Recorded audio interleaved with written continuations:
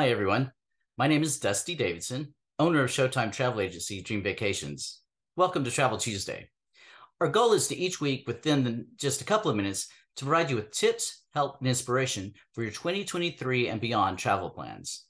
For starters for the new year, and we hope everyone is having a great start to the new year, the biggest question we get, or at least the most consistent question we get, is in regard to travel protection and when do you need it? The answer is very simple. If you're traveling domestically or abroad, you need to have travel protection. A better question would be what kind and then how much, and that will depend on your trip. Now, many people believe they have adequate travel protection through their credit cards, and some do, but you need to really look closely at the terms and conditions and look closely at what is actually covered. You might be surprised.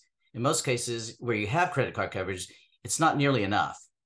Now, if you travel frequently, you might look to an insurance agent and discuss an annual policy. Usually the policy coverage will be about the same, but the premiums are lower than getting an individual policy each time you travel. However, if you only travel a few times a year, you can get trip coverage usually through a travel agent or wherever you book your travel, and that should be sufficient.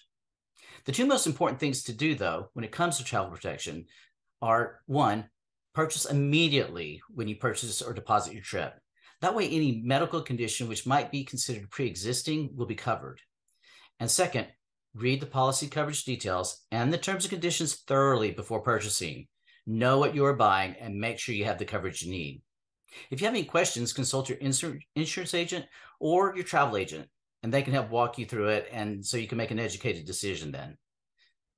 Well, that's it for today.